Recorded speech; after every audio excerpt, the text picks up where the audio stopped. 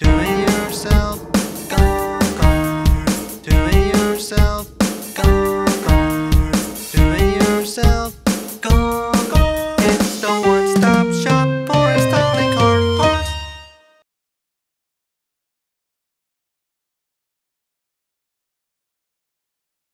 Hello, welcome back to DIY Golf Cart. In today's installation video, we'll be installing this highly popular five-panel mirror on the roof of a Club Car Precedent golf cart. Now, in order to perform this, what you'll need is an 8mm uh, open-end wrench and a 10mm open-end wrench.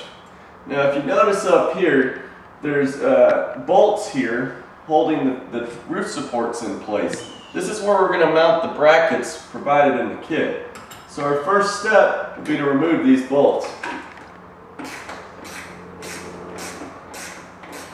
Okay, once we get the bolts removed on either side of the cart, take the brackets provided in the kit, run the bolt that you removed from the top support through the bracket and directly through the frame itself.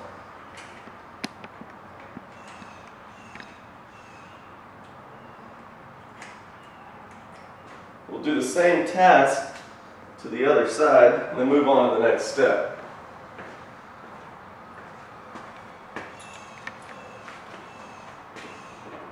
Once we've got both brackets installed on the top, our next step will be to install the mirror to the brackets itself. One of these sides has the bolt already pre-drilled through the mirror, and the other side's just an opening like so. So what we'll do is we'll take the bolt provided in the kit with the square tubing on the bottom, we'll slide it through the mirror, and then we'll put that side through the bracket. Once we've completed this, we'll grab the knob, which we've already put a nut in the center of, and we'll just screw it directly to the bolt.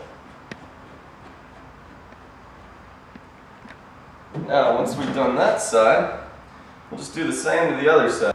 Our next step in the video will be to tighten the bolts that are holding the mirror brackets and the top supports in place.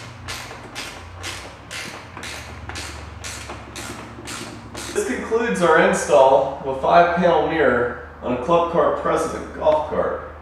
Now what's cool about this mirror is you can adjust it to your unique driving style. So if you're shorter, you'll want to pull it down, or if you're taller, you pull it up. As well as with these knobs on the side, you can raise and lower the mirror.